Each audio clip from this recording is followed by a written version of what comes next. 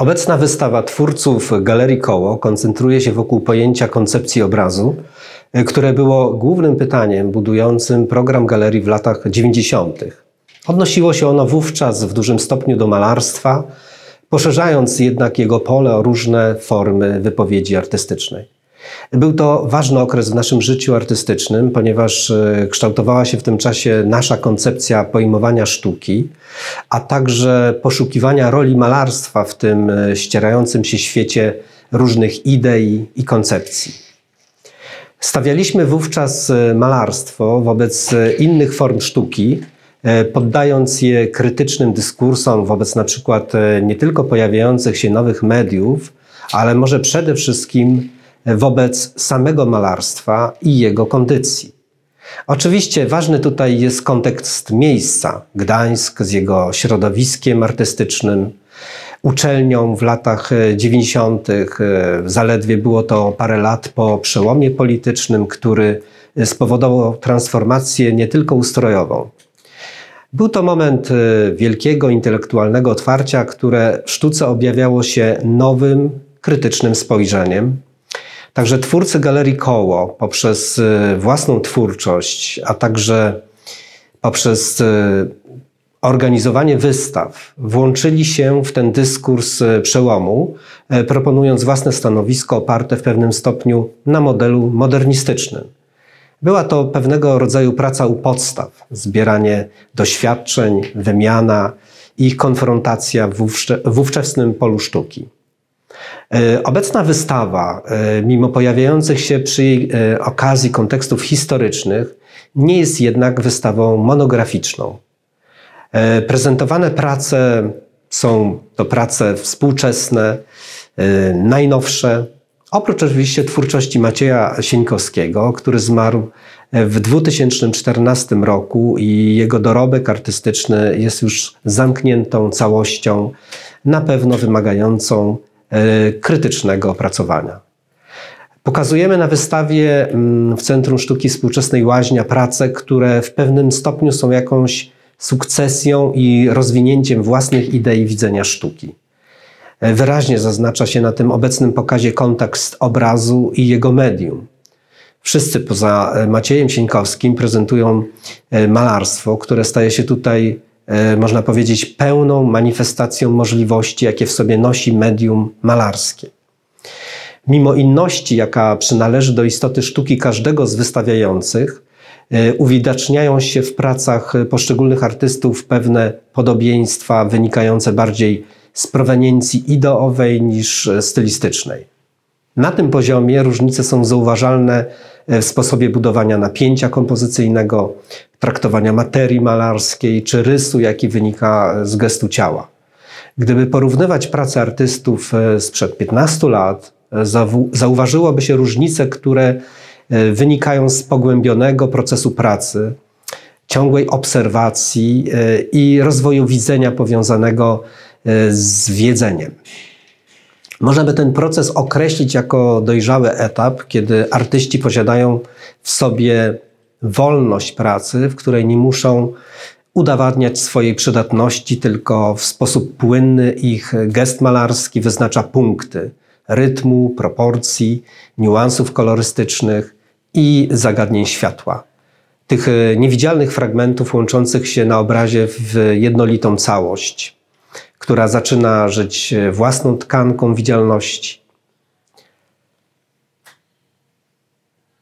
E, prezentowana na wystawie praca wideo Macieja Sieńkowskiego, autoportret, jest z połowy lat 90.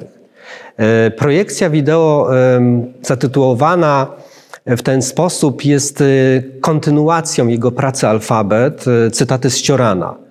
E, animacja zaczyna się portretem artysty Macieja Sieńkowskiego, e, który techniką morfingu przekształca się w twarz znanych postaci sztuki, jak Kunz, czy też kolejne wizerunki pojawiających się współczesnych artystów.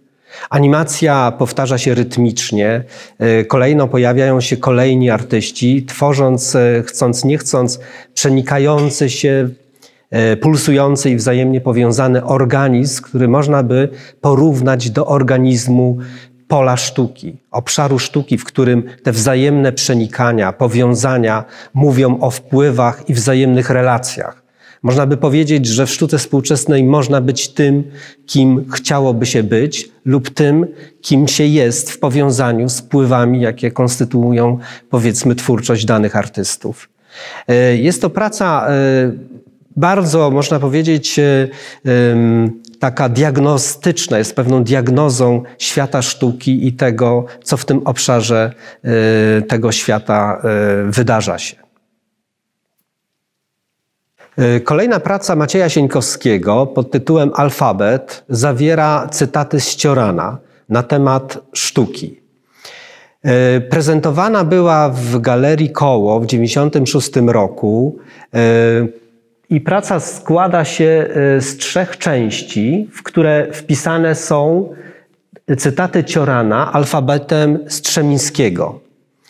Jest to 157 kół i w każdych tutaj, jeśli zobaczymy, w sumie niewidoczne elementy składają się na tą literę e, tego modernistycznego alfabetu Władysława Strzemińskiego. E, w górnych trzech rzędach znajdują się twarze 48 e, artystów, którym przyporządkowane zostało zdanie, które tutaj pozwolę sobie zacytować. W miarę jak sztuka pogrąża się w impasie, mnożą się artyści. Czyli to zdanie mamy wpisane w tym górnym autoportrecie, portrecie artystów. Y, w kolejnych siedmiu rzędach y, pojawiają się fragmenty pracy różnych artystów od czasów modernizmu do współczesności z wpisanymi dwoma zdaniami. Sztuka, będąc w zaniku, stała się zarazem niemożliwa i łatwa, oraz ponieważ sposoby ekspresji zużyły się, sztuka zwraca się ku nonsensowi. E, czyli praca z takim e, dużym ładunkiem krytycznym e, jest jakby poglądem Macieja Sieńkowskiego dotyczącym sztuki od czasów modernizmu do czasów współczesności.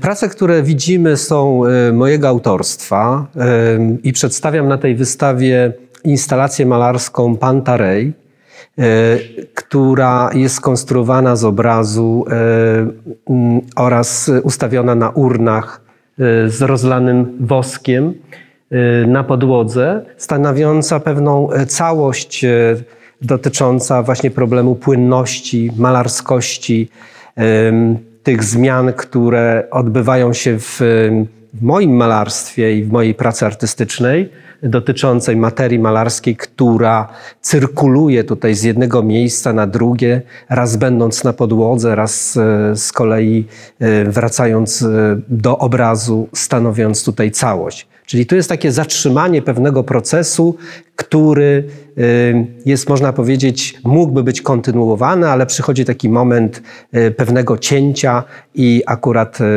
w ten sposób został zaprezentowany, mówiąc o pewnym problemie dotyczącym pojęcia płynności, czyli czasu, który ciągle płynie, płynie i zmienia swoją, swoją nie tylko istotę, ale i e, zmieniając swoją materię. E, kolejne prace to są z cyklu Perpetuum Pictura, które też nawiązują do problemu właśnie płynności, zmienności, cyrkulacji materii, zmieniają swoją objętość, swoją istotę, e, tworzą koncepcję z jednej strony na obrazie, albo stając się takim podwójnym torem, gdzie e, materia zebrana z obrazu zostaje zapakowana do pleksji, stając się obok, e, e, stworząc pewną, pewną całość. Jest to nawiązanie do tego modelu perpetuum mobile, czyli do takiej formuły, która jest czymś, co samo ma, posiada jakiś wewnętrzny mechanizm samonapędzający. Więc tutaj właśnie mówię o, o w swojej pracy o malarstwie, które ma tą siłę która e, w jakiś sposób e, samoistny je napędza, powodując e, przemiany, które się wytwarzają na obszarze płótna.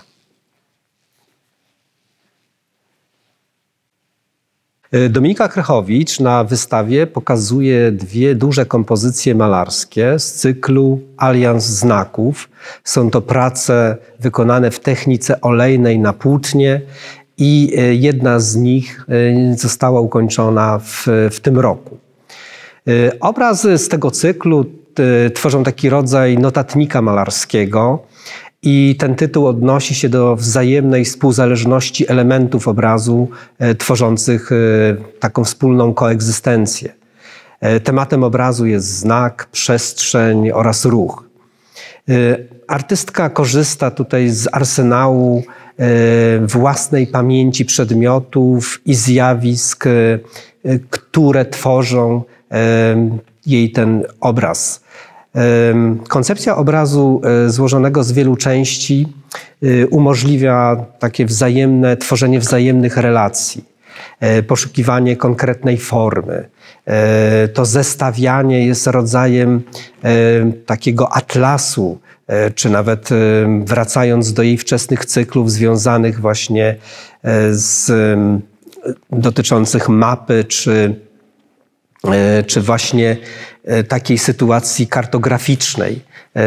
Także jest to cykl, w którym też y, przewija się pewna, e, pewne elementy czy e, formy, które można by przypisać do takiego świata kobiecego, właśnie feministycznego. E, woalki, jakieś elementy garderoby, czy torebki, czy takie które przybliżają nam, powiedzmy, ten świat i tworzą tutaj obraz tych wzajemnie przenikających się relacji. E, ważne tutaj jest e, też spojrzenie na kolor, prawda, na zestawienie kolorystyczne, na plamę malarską, która jest e, czymś bardzo wyszukanym, składająca się z wielu właśnie odcieni, niuansów kolorystycznych, które poprzez zestawienie tworzą jakąś taką wzajemną relację kolorystyczną i jest takim obrazem, w pełni malarskim, właśnie spełnionym obrazem malarskim, na który e, składa się właśnie ten element e, formy e, gestu i koloru. Dwie kompozycje malarskie Jana Buczkowskiego, które nie otrzymały od artysty tytułu, tytułu pracy, jednak w jakiś sposób nawiązują w dużym stopniu do e, widzenia takiego malarskiego e, pejzażu, który gdzieś tam się tli w tle. E, artystę interesują środki, takie proste środki plastyczne, jak na przykład wylewanie farby, zestawianie jej, poszukiwanie pewnego rytmu, takiego brzmienia obrazu, które, w którym zderza przede wszystkim przypadek e, z własną intuicją malarską, która tutaj w sposób e, bardzo precyzyjny e, szuka miejsca dla na przykład tego rytmu linii, które są wykonane jednak w sposób przypadkowy, to znaczy wylane w odpowiednim miejscu. Czyli artysta poszukuje właśnie takiej swojej własnej wolności artystycznej w obrębie takiego źródłowego e, pojęcia związanego ze sztuką, jakim jest właśnie przypadek, który się zdarza artyście, a on potrafi go w, sposób e, bezbłędny wykorzystać i stworzyć e, z tego pracę malarską. Widać w nich takie duże zainteresowanie właśnie kolorem, który jest w sposób wyrafinowany, zestawiany, czyli wcześniej przez artystę e, w jakimś naczyniu właśnie wymieszany i e, później wylany na płaszczyznę obrazu po to, żeby ten e, jego własny ciąg, e, jego taka własna cyrkulacja tworzyła te struktury, które mogą z jednej strony właśnie nawiązywać e, do czegoś, co widzimy też w naturze czyli tego zestawienia rytmów, które poprzez właśnie różne zestawienia też kolorystyczne tworzą ten obszar dopełniających się form. z jednej strony kolor, prawda? Tutaj mamy do czynienia z żółcią, która przebija spod spodu, e, czyli jest takie widzenie właśnie gdzieś jakiegoś światła, które przebija poprzez te cieknące stróżyny e, farby, czy też w drugiej pracy, powiedzmy ta zieleń, która już bardzo mocno wchodzi e, w kontekst właśnie natury.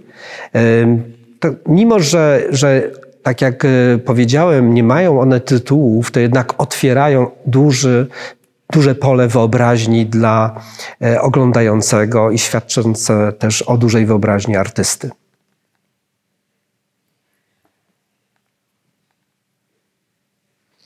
Krzysztof Wróblewski na obecnej wystawie prezentuje obraz 99 naukowców i wynalazców.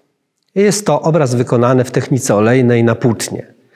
E, obraz e, zawierający portrety ważnych 99 naukowców i wynalazców e, to jest, tworzy otwarty zbiór twarzy ludzi, którzy w sposób znaczący wpłynęli na przemiany cywilizacyjne. Nauka i technologia, jak twierdzi właśnie artysta, oddziaływują na nasz sposób myślenia i pewien rodzaj przyzwyczajeń. Oczywiście miały także wpływ w dużym stopniu na sztukę współczesną. E, innowacje techniczne i odkrycia naukowe e, niosą pozytywne i negatywne skutki. E, wiele zależy od tego, jakie ludzkie instynkty mm, je wspomagają. Niekiedy nauka służy czy służyła właśnie barbarzyństwu i to na ogromną skalę, co miało miejsce w pierwszych dziesięcioleciach XX e, wieku. E, wiele technologii też ingeruje brutalnie w środowisko naturalne i zakłóca ekosystem. Czyli mamy z jednej strony właśnie taki obraz naukowców, którzy e, są ważnymi postaciami dla rozwoju nauki, a z drugiej strony jest ten element właśnie krytyczny, niosący właśnie e, ten kontekst moralny właśnie ich wynalazków, które często przyczyniały się e, do pewnej takiej dwuznaczności udziału nauki w pewnych, no jak to określa artysta, barbarzyństwach, które tworzyły tą współczesną historię. Artysta w swojej praktyce często zestawia obraz e, przedstawiający z abstrakcją. Ta abstrakcja też jest tworzona na zasadzie intuicji, ale jakbyśmy tu przyjrzeli się tym elementom abstrakcyjnym, tworzą one, e, tworzone są one z podziału kryształów, które e, tworzą strukturę obrazu. E, jest to dosyć ważna praca e, artysty, obecnie znajdująca się w kolekcji Politechniki Gdańskiej. E, została wypożyczona na tą wystawę i słusznie, że znajduje się gdzieś właśnie w murach Politechniki i przyczynia się do takiego krytycznego spojrzenia samych naukowców na ich własny obraz i funkcjonowanie we współczesnym świecie. Kolejna praca Krzysztofa Wróblewskiego, e, prezentowana na obecnej wystawie, nawiązuje do jego e, zamiłowań do pewnych teorii naukowych. W tym przypadku obraz odnosi się do modelu matematycznego nazywanego spiralą Ulama, który polega na okrężnym zapisie w polu kwadratu liczb naturalnych od 1 do nieskończoności. E, taki zapis uwidacznia szczególne wzory, które powstają e, w wyniku położenia liczb pierwszych, e, które tutaj zostały zastosowane w tej pracy. Liczby pierwsze tworzą ciągi mniej lub bardziej regularne w układzie diagonalnym, poziomym i pionowym. W efekcie tego widzimy pracę nawiązującą do abstrakcji geometrycznej, ponieważ składającą się z kwadratów, dzielonych właśnie tych kwadratów na pół, ale jednak ideą, która przyświecała artyście, tworząca w finale jej efekt estetyczny, jest pewna teoria, którą tutaj zastosował w praktyce.